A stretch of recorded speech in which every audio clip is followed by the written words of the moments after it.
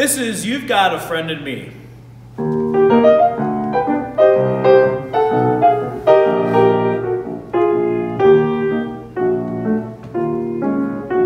You got a friend in me. You got a friend in me.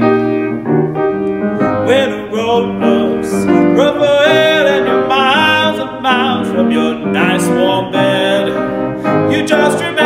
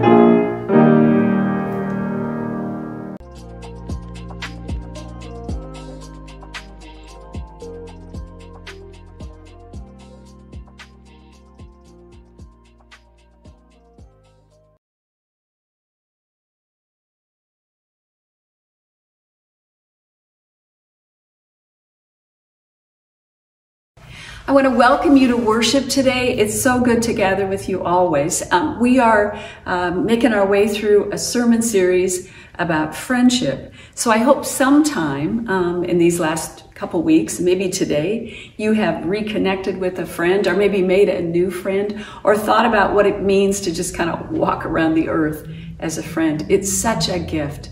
So today we'll continue that celebration of friendship. We're also going to have communion today, and so this is kind of just a heads up. Um, you might want to prepare um, a, a cracker, a piece of bread, some juice. It doesn't have to be juice; it can also be water. Something that you can share communion this morning um, in your home. Welcome to worship. Um, even though we are not in the same space, we are connected by the love of God, and so we are in many ways friends. Welcome.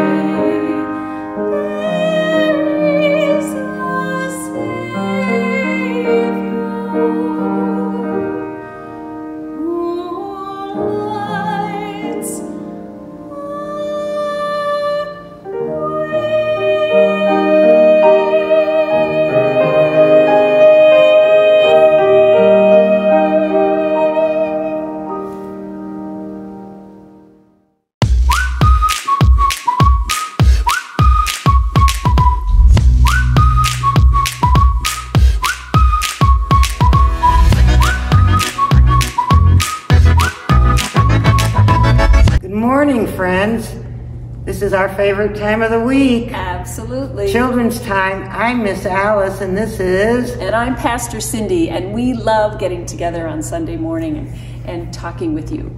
We are having this um, time, these last couple weeks, we've been talking about friends, and it has been delicious to talk about friends. Friends right? are so important in our lives. Absolutely. And Miss Alice and I are friends. Mm-hmm. And so every Sunday, you know, when we do this, it's kind of a celebration that we get to share our lives It is. together. Really is. And Jesus called us friends. And so we've just been exploring all of this. I want to tell you something about Jesus. When he said he was our friend and he talked all about friends, he added something special to friendship. He knew that we would be connected to people that uh-huh. we loved and cared about. He knew that would be wonderful. But he also believed that when we became friends, that all the good stuff that we did, our light would go out into the world. We would become friends, and then we would become friends to the world Right, just keeps multiplying and keep multiplying. getting bigger and bigger. He said, You are the light of the world. And he meant you and you and everybody who's watching today. That as Jesus loves us, our light would go out. So we have some lights, and we're just going to kind of play around with ways that we can be friends and send the light of Jesus into the world. So I'm thinking, hmm, I am thinking we could be, we could encourage our teacher at school or preschool. We could be a friend. To, that would be a little light. We could encourage a friend who's having a bad day and just may need some encouraging words. Hmm. If you are in school and you go into the lunchroom, you could be a friend to the people who work in the lunchroom. Oh, that'd be good. Mm-hmm. If you ride a school bus, you could be a friend to the school bus driver. Absolutely, absolutely. In your neighborhood, if maybe there's somebody elderly in your neighborhood, you could be a friend to them and encourage them. If you play on a sports team, maybe soccer, maybe baseball, softball, you could be a friend to your coaches. You could ask your adult, your mom or your dad, if there's a nursing home or a place nearby where there are older people who mm-hmm. live, and you could color a picture and drop it off and just say, Friend, have a nice day, and drop it off for somebody. Oh, they would love that. That would be cool. If you're in the grocery store, maybe, and somebody needs help reaching something, you may, if you can't reach it, you could ask, get some help, and be a friend to that person. Yep, you could be a friend like that. And you know, one of the things we do at the church, we have a little pantry and there's food in the little pantry because we want to be friends to our neighbors who need food. So you could ask your mom or dad if you could bring some food for the little pantry. Some of you are acolytes. You bring the light of Christ into the church, and that's being a friend to all the people in the church. They look forward to seeing you do that. All right, Alice, I'm going to do a selfish one. Okay. You could send a picture to your pastor, me, or to Pastor Trevor, and that would be a Oh. light in our lives. You could join us at Sunday School Zoom and be a light to all your friends on Zoom. So, look, if we do all of these, pretty soon you start to light things up. You discover how much we can change the world by loving the way Jesus did, by making friends everywhere we go, um, by being people who love and encourage other people. So, um, I think that's a super thing, and I want to pray about that. So, will you join me in prayer? Yes. And we're going to do this the way we do this, and that I'll say some words, and Alice is going to repeat them, and hopefully you'll repeat them with Alice. So, join me in prayer. Dear God, Dear God, we thank you we thank you for all that you do for us. for all that you do for us. We thank you for our friends, We thank you for our friends, that we get to share our lives with them. that we get to share our lives with them. We thank you for Jesus, We thank you for Jesus, who taught us who taught us that friendship isn't just for us, that friendship isn't just for us, but it's meant to be shared with the world. but it's meant to be shared with the world. We pray We pray that we can that we can make your light shine that make your light shine all around the world. all around the world. In Jesus' name, In Jesus' name, amen. amen. All right, thanks for joining us today. We'll see you in Sunday school on Zoom. Right after service, you can ask uh, your uh, adult to text Trevor and he'll give you the information to link on. So, you, my friends, are little lights in the world, and uh, we're excited about that. Have a great week. Bye bye. This morning we have several different passages uh, to read from Scripture. First comes from Genesis chapter 1, verses 1 through 4. Six days of creation and the Sabbath. In the beginning, when God created the heavens and the earth, the earth was a formless void, and darkness covered the, deep, the face of the deep, while a wind from God swept over the face of the waters. Then God said, Let there be light, and there was light. And God saw that the light was good, and God separated the light from the darkness. The next reading comes from Psalm 27, verse 1 triumphant song of the confidence of David. The Lord is my light and my salvation. Whom shall I fear? The Lord is the stronghold of my life. Of whom shall I be afraid? Third scripture comes from the Gospel of John, chapter 1, verses 1 through 5. The Word became flesh. In the beginning was the Word, and the Word was with God, and the Word was God. He was in the beginning with God. All things came into being through him, and without him, not one thing came into being. What has come into being in him was life, and the life was the light of all people. The light shines in the darkness, and the darkness did not overcome it. Next, later in the Gospel of John, chapter 8, verse 12, Jesus, the light of the world. Again, Jesus spoke to them, saying, I am the light of the world. Whoever follows me will never walk in darkness, but will have the light of life. And then finally, from the Gospel of Matthew, chapter 5, verses 14 and 15. You are the light of the world. A city built on a hill cannot be hid. No one, after lighting a lamp, puts it under the bushel basket, but on the lampstand, and it gives light to all in the house. May God add God's blessing to the reading, hearing, and living of Scripture. Amen. In 1975, I worked at the University of Iowa Hospital. Dave and I were newly married. We had just moved to Iowa City. We lived in a tiny little apartment on Van Buren Street. And Dave was in school, and I worked um, as a ward clerk at the hospital on the 3 to 11 shift.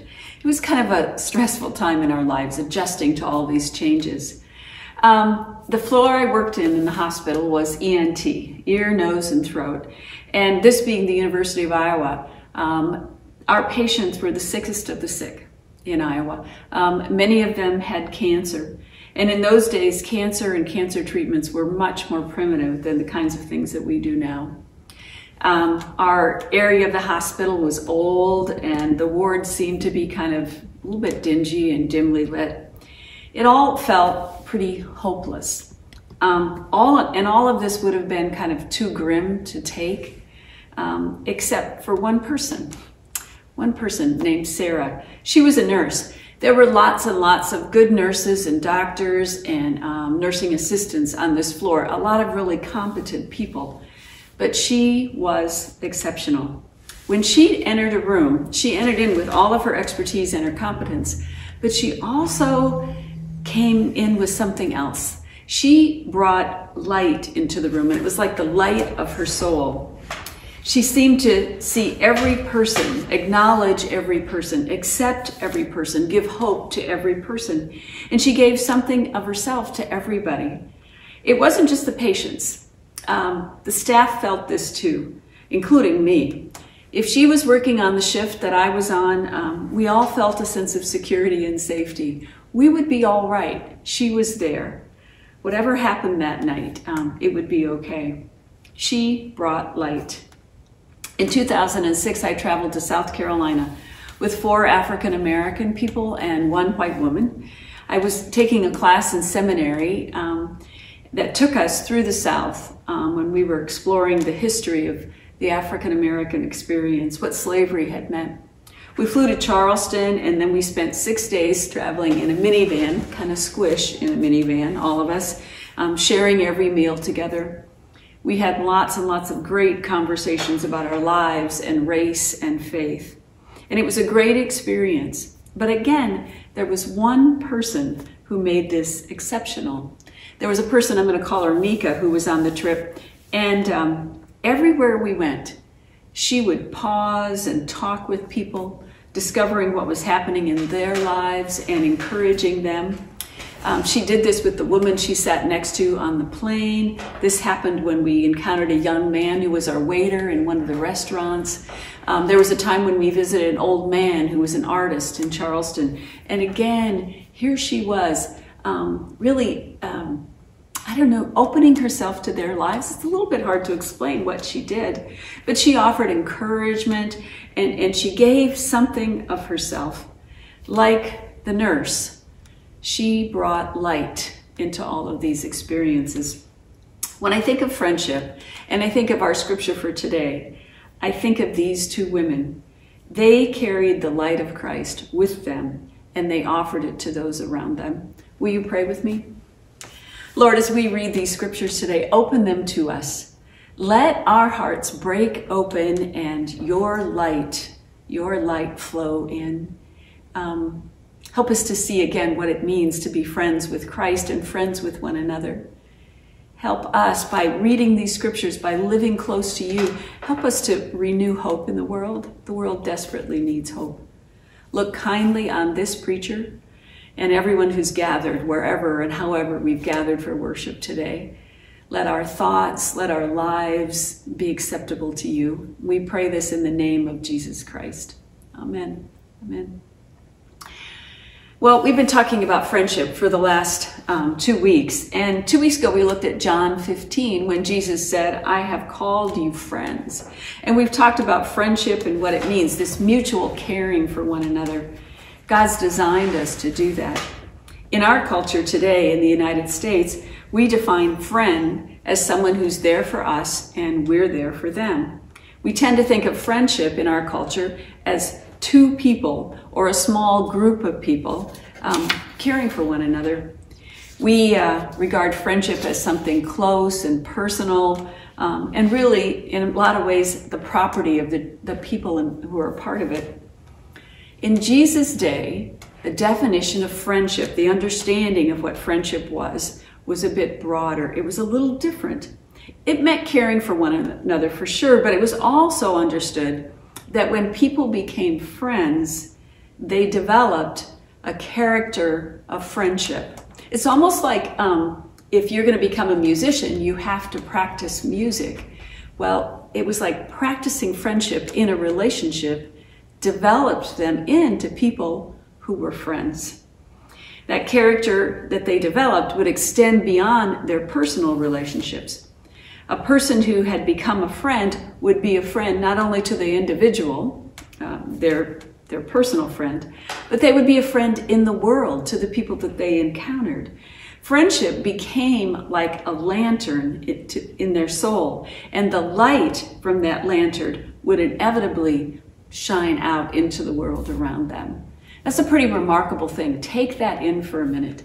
To be a friend meant to be a friend to the world. When Jesus said to his disciples, I have called you friends, he didn't just mean, hey, let's hang out together. He meant through our friendship, we will grow in all the qualities of friendship. All those qualities acceptance, compassion, forgiveness, mercy, encouragement, support all of those things that make up friendship. And as we become stronger friends, we will live in friendship to everyone we meet. When you think about Jesus, who poured himself into the world, um, that seems sort of obvious, doesn't it? That Jesus wouldn't hoard friendship, would, friendship wouldn't be just for him, but that friendship would be more than his personal possession. Friendship was more, uh, one more way that he would give himself away to the world. Friendship was a light to the world, and the scriptures for today are all about light. I hope you have the scriptures in front of you. If you don't, if you ever want to just get the scriptures, we send them out via email or actually in snail mail too. So if you'd ever like to have them ahead of time, contact the church and we can make sure that you get them. Um, if you you can look them up on your phone app too if you want to, or just listen because these scriptures are so wonderful and so delightful. I want to go through them again. Almost every book of the Bible makes reference to light. Um, it just seems to flow through Scripture all the way. It's as though the way light moves through Scripture is really symbolic of the way the love of God has moved through all of humanity, through all time. Genesis 1, that's our first reading for today. In the beginning, when God created the heavens and the earth, the earth was a formless void, and darkness covered the face of the deep, while a wind from God swept over the face of the waters. And then God said, Let there be light. And there was light, and God saw that the light was good, and God separated the light from the darkness. Things began in darkness, according to the scripture. And you know how scary darkness can be. If nothing else, we try to move around in darkness, we bump into stuff, we hurt ourselves, and we feel afraid. And this darkness wasn't just the absence of light, it represents confusion and chaos and uncertainty and hopelessness. There was a darkness about that hospital ward where I worked that I described. And there was certainly a darkness about the evil of racism that we encountered in the South. And what does God do? God creates light. God lets us see. God lets us find our way. The next reading is from Psalm 27, verse 1. The Lord is my light and my salvation. Whom shall I fear? The Lord is the stronghold of my life. Um, of whom shall I be afraid? In this scripture, light becomes something we can trust. God not only created light, God is light. And when we find our way forward, we're being led by God. The next reading comes from John 1, and it's verses 1 through 5. And I love this reading. And um, tell somebody to read this at my funeral because these words are that important to me. In the beginning was the Word, and the Word was with God, and the Word was God. He was in the beginning with God, and all things came into being through him. And without him, not one thing came into being. What has come into being in him was life, and the life was the light of all people. The light shines in the darkness, and the darkness did not overcome it. See, aren't they beautiful words? Christ brings this light to us. That's what the scripture says. And this light is life for all people. Light and life become synonymous here. Some of you may be planting your gardens this spring, and what will those flowers and vegetables need to grow? They will need light. There is energy and warmth in light. And it's almost as though in this scripture, science and holiness kind of come together and sort of become one. I love that. The light shines in the darkness, and the darkness cannot overcome it. The light is more than just photon, photons bumping together. That's what a scientist would tell us. That's what generates light. But this light is the hope in the darkness of uncertainty. Pretty remarkable. Well, the next reading is from um, John 8, verse 12. Again, Jesus spoke to them, to his disciples, saying, and this is what Jesus said about himself I am the light of the world. Whoever follows me will never walk in darkness, but will have the light of life. And now Jesus, that light shifts, and Jesus is the light, but now Jesus says if we follow Jesus, we will have the light, that he is the light. And one last scripture Matthew 5, verses 14 to 15. You are the light of the world. A city built on a hill cannot be hid. No one, after lighting a lamp, puts it under a bushel basket, but on the lampstand, and it gives light to all the house. I remember the first time I read that last scripture, the one from Matthew. It says, You are the light of the world, and Jesus is talking to the people around him. Now, just in the previous scripture, it had said that Jesus was the light of the world. And when I read this one in Matthew, I always thought it was a typo. I thought, no, Jesus, you got that wrong. You are the light of the world. But this scripture would indicate that Jesus has handed that light to us. The light has come from God at the beginning of time, flowed throughout all of history, and entered into human life through Christ. And then Christ passed it on to us. In our friendship with Jesus, as we know him and grow in compassion and mercy, light flows out from us into the world, into the lives of others. It's pretty amazing to think of that, don't you? This whole process of light eventually being placed in our hands. Anything that we do that's hurtful, that diminishes other people, that deprives them of light and leaves them hurting in some sort of darkness. It's like living with a bushel basket over our head.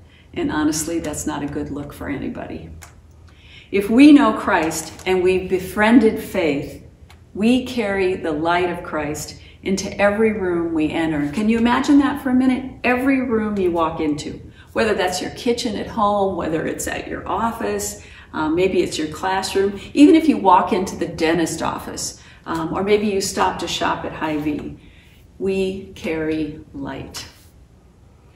And if that's true, then I think this church, um, where we gather at the corner of 8th and Grand, this church that draws us all together today, even if we're not all in one place, this church becomes a lighthouse.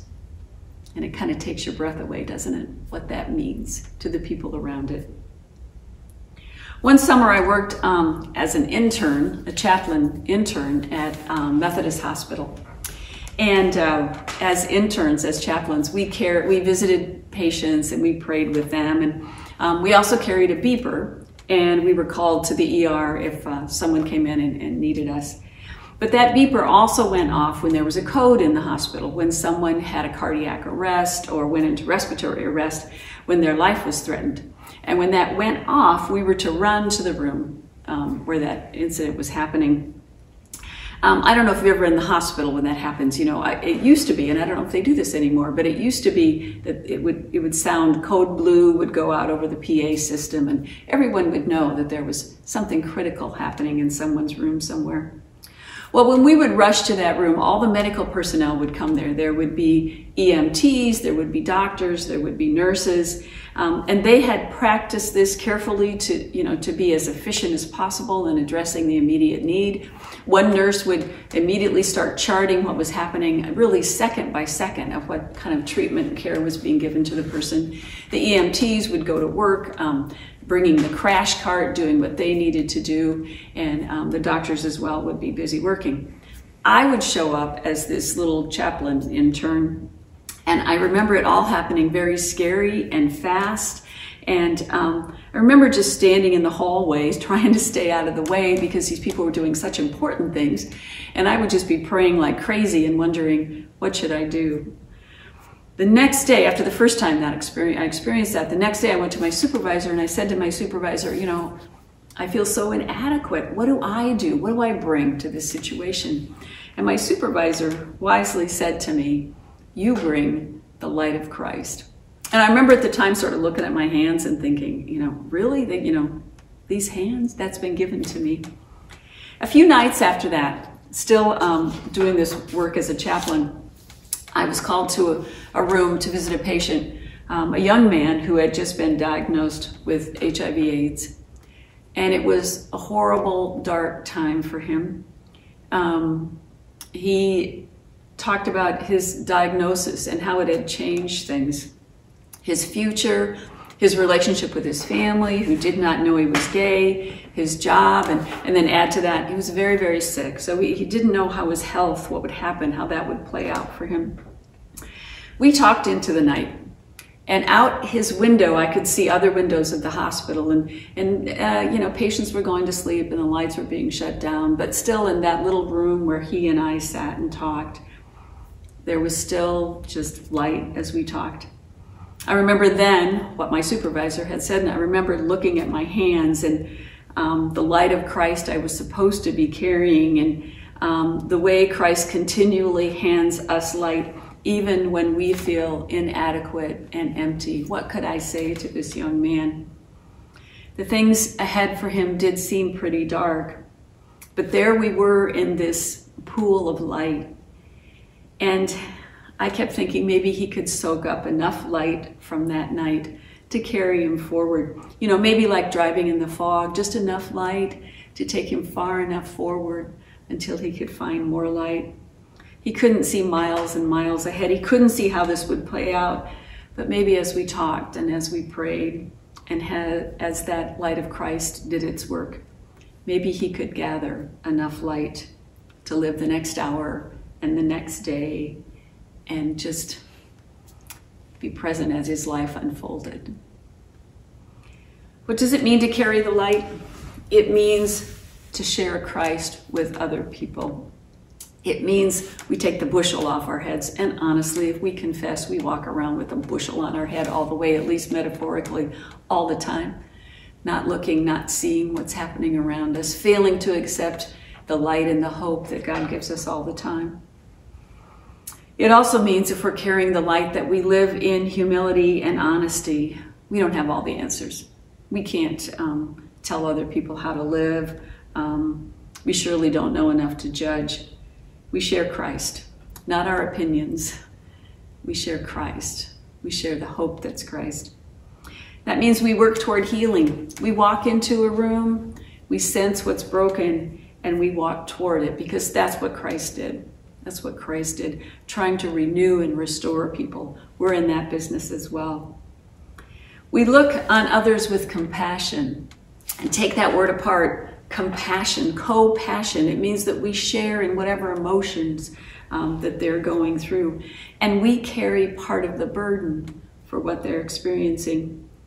Remember all the people Jesus looked on? The hungry, the poor, the mentally ill, the lame, the outcast. Jesus compassioned with them. He carried part of their burden. And we trust that we can't see everything and that we trust even beyond that, that God can. We offer hope, always hope, because light shines into the future, and we always offer hope, the redeeming, resurrecting grace of God. One last story for you.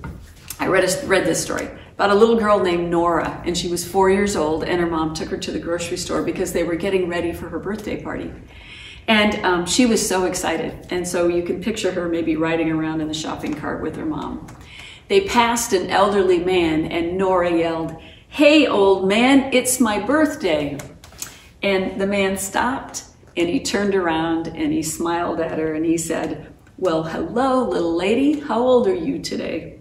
And they had a conversation. Nora told him she was four, and he introduced himself as Mr. Dan. And they talked for a few minutes, and he wished her happy birthday, and then they went on shopping. A little while later, as they were shopping, Nora said to her mom, and this Nora must have been a pretty precocious little girl.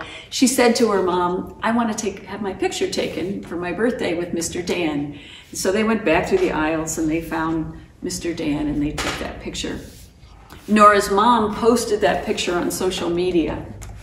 And um, uh, and after um, she did that, um, and, and Mr. Dan was just very kind through the whole thing. So she posted the picture on social media, and someone on social media identified Dan and privately let Nora's mom know that Dan's wife had died six months earlier and that Dan had been going through a really difficult time. Well, they decided that the birthday celebration should ex- for Mr. Dan should extend just beyond a picture in a grocery store. So they took him some snacks, and um, they found out where he lived. They took him some snacks, and um, and uh, he told them a little bit about his life. That he had been in really um, sad, difficult time. He hadn't been sleeping well lately, and and Nora's little shout out to him in the grocery store, this extension of friendship of light, um, had really meant a great deal to him, and a friendship developed continued from that. And through that, Dan's grief began to lift. Well, what if that is what it means to be a friend to Jesus Christ? To carry the light of Christ around, to shout out when we see pain, to be a little like Nora. It's light flowing into the world, the light of Christ in us, the light of Christ flowing through us. being friends. Thank you, my friends, for being here today.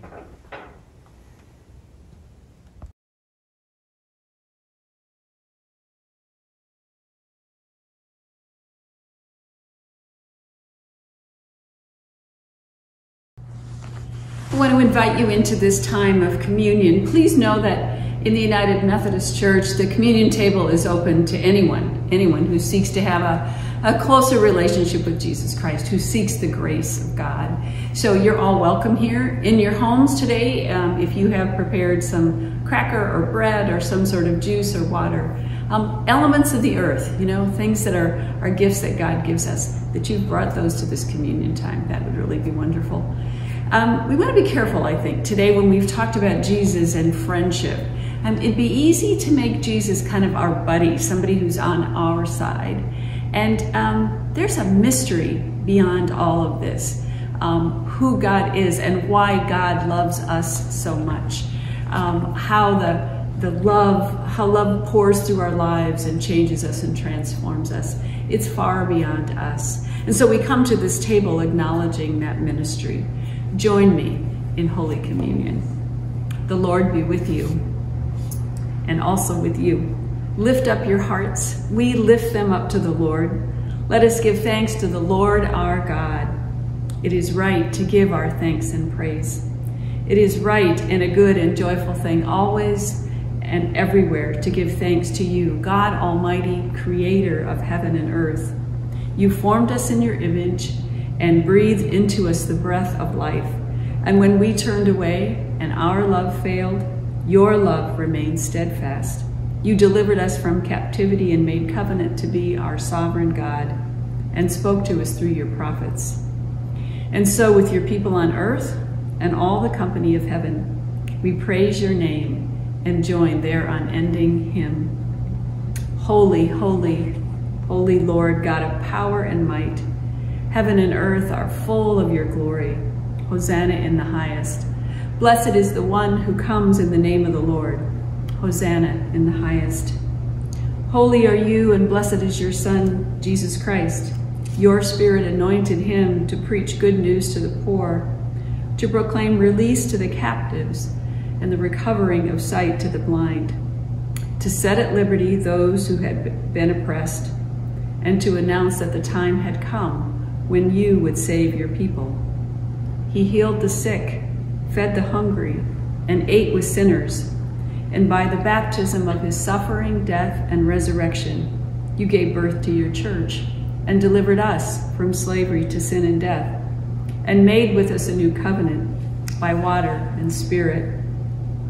When the Lord Jesus ascended, he promised to be with us always in the power of your word and Holy Spirit. On the night in which he gave himself up for us, he took bread, gave thanks to you, broke the bread, gave it to his disciples, and said, Take, eat. This is my body, which is given for you. Do this in remembrance of me. The body of Christ broken for us.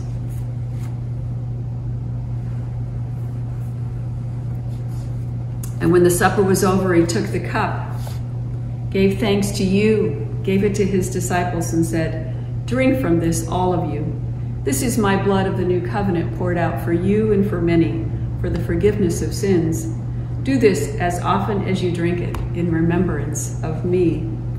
And so, in remembrance of these your mighty acts in Jesus Christ, we offer ourselves in praise and thanksgiving as a holy and living sacrifice in union with Christ's offering for us as we proclaim the mystery of faith. Christ has died, Christ is risen, Christ will come again. Pour out your Holy Spirit on us gathered here and on these gifts of bread and wine. Make them be for us the body and blood of Christ, that we may be for the world the body of Christ, redeemed by his blood. By your Spirit, make us one with Christ one with each other, and one in ministry to all the world until Christ comes in final victory and we feast at his heavenly banquet. Through your Son, Jesus Christ, with the Holy Spirit, in your holy church, All honor and glory is yours, Almighty God, now and forever. Amen. Amen. And the body of Christ broken for you, and the cup of heaven poured out for you. Amen. Amen.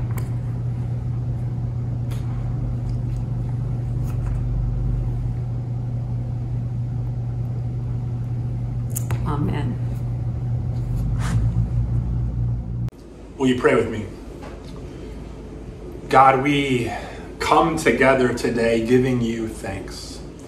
Thanks that you are a friend, a friend who is invested in our lives. And may we, like you, oh God, make deep friendships. May we invest in one another's lives. May we put ourselves aside to get to know our friends better, to serve our friends. May we be good friends who help one another grow, who see beyond limitations, and who love uh, the way you love. We come together this morning, God, with a whole bunch of stuff on our heart, right? The good and the bad, and you know all of this. You know our prayers before we even utter a word. So hear us, oh God. Hear the cries of our hearts. And we pray together the way Jesus taught us to pray, saying, Our Father, who art in heaven, hallowed be thy name. Thy kingdom come, thy will be done on earth as it is in heaven. Give us this day our daily bread, and forgive us our trespasses as we forgive those who trespass against us. Lead us not into temptation, but deliver us from evil. For thine is the kingdom, and the power, and the glory forever. Amen.